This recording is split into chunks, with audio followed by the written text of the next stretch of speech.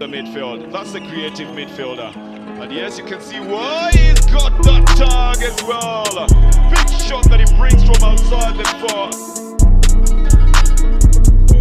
They like to call him Ozil just because of his creativity. To earn a nickname like that, but you need to be a very good creative midfielder.